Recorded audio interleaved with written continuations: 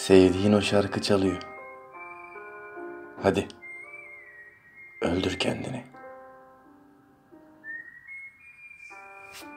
Kanından o hayal dünyasına bir ırmak ekleyelim. Hatta dur. Bu şarkıda ben de öleyim. Cesedim yüzsün o ırmakta. Hadi öl. Dür. Bu defteri. Kanınla imzala. Tanrı kan kusuyor.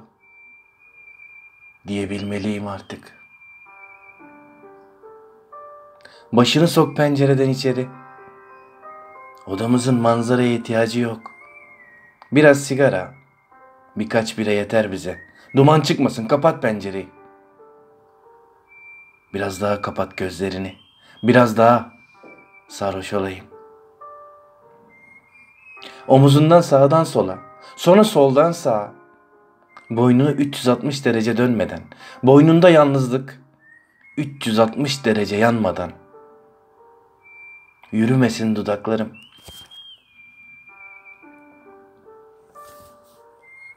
Dışarısı boydan boya keskin bu yolculukta. Bu trenden başını çıkarma. Lütfen. Bir bir kopacak ardımızdaki vagonlar. Gel ileriye. Biraz daha.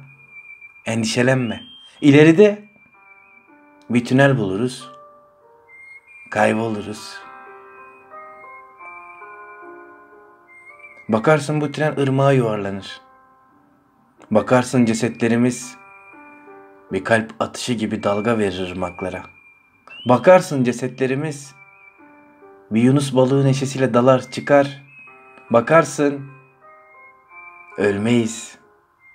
Hatta sen bana bakarsan hiç ölmeyiz. Ağzımdan ağzına yürüyen bir soluk bizi hep canlı tutar. Ağzımdan ağzına bir çocuk yürür. O şarkı çalıyor hala. Hadi ölelim artık. Artık o şarkıya ihtiyacımız yok biliyorsun. Sesini aldım. Tellerimi verdim sana. Bütün kuşlarını buna kondur. Bununla bu, bu tellerle bu dünyayı boynundan. Bu yüzünü öldürürsen katil sayılmayacaksın. Sana söz veriyorum. Suçunla birlikte üzerime alacağım seni.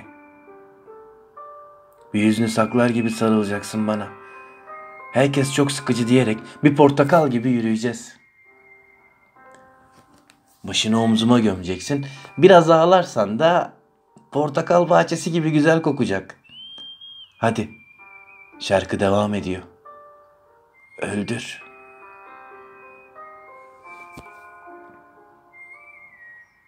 Göğsündeki bıçak iyice girsin diye sarılırken insanlar avuçlarındaki kir içine geçsin diye tutarken ellerini gözyaşlarını silerken teninin rengi akmışsa gel öp beni gel tadımı kaçır. Gel tadını karıştır.